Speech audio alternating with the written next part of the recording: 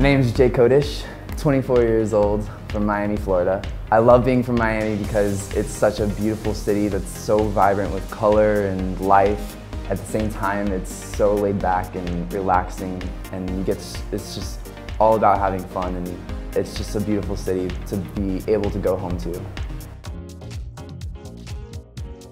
When I booked the Taylor Swift tour, I, I, I wasn't surprised. That day, I knew it was my time. Like, I, I walked in there and I was like, I just remember thinking like, nothing's gonna stop me today. I'm, I'm going in here and I'm ready. And the reason why I wasn't surprised was because I've always, when, I'm, when nothing's going on, I work at, you work at yourself to be super prepared for that opportunity to come. So when the opportunity does come, you're ready and prepared. And so I was, I felt so prepared that day and I never, I never danced harder than that day, I think. There's a lot of people that inspire me artistically. Um, as far as dance, the first person to really inspire me was Philip Chbeeb um, with his creativity of the angles that he makes and the shapes that he makes with his body to just the connections between movement is just unreal. And then also Kyle Hanagami uh, influences me a lot with using all the space that you can with your body and using 100% of your body, but not, not meaning where it's like full out 100%, but knowing how to use your body to its fullest potential, basically. And, and performing, performance quality, I, I get a lot from Kyle too. Started dancing initially because I was bullied when I was younger. And for some reason, I, I liked dancing. I could move my body for some reason. It was just a natural thing. And uh, I was at a, my first party that I ever got invited to when I was in fifth grade.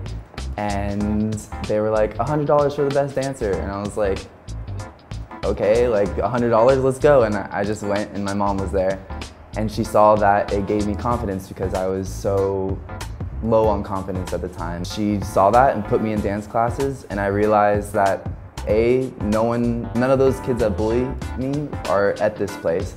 And B, there's so many pretty girls and they don't know that I'm a loser. So like, I love this. And, and I like that I get to move and it feels good. And so I just stuck with it and I fell in love with it.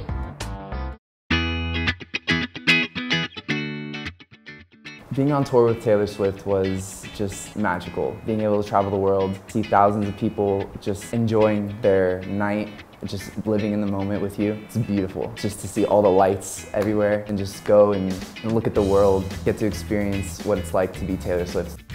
It's pretty cool. I have three favorite places, which are Vancouver, Ireland, and Barcelona. Those places I just had really, really good experiences with um, the people, the, the culture, and what I was doing. Especially Ireland. Me and my friend Mason Cutler rented a car and, and while we were on our break, we had a week break after we performed there, and we just road tripped throughout Ireland without any plans, and we just had the time of our lives and just went with the flow. It was the coolest thing ever. I have the most supportive family and friends. I like if it wasn't for my mom for encouraging me to be a dancer, I wouldn't be a dancer. If it wasn't for my dad being able to support me when I have no money, then I wouldn't be able to live in LA. If it wasn't for my brother and my sister influencing me, I wouldn't be who I was now. To be a great dancer and freestyler, it takes a lot of not just training your body, it's, it's a lot of mental stuff. Like to be able to be in a room and block everything out and not think about the choreography but still thinking about the choreography and or how to freestyle and it's just letting it go but also being present at the same time. It's a very interesting state of mind that it, you have to find. I found it just listening to music and I remember my body was just moving and it was and I didn't I wasn't even thinking about moving it was just reacting to the music and once I felt that, I was like, this is the state of mind I need to be in.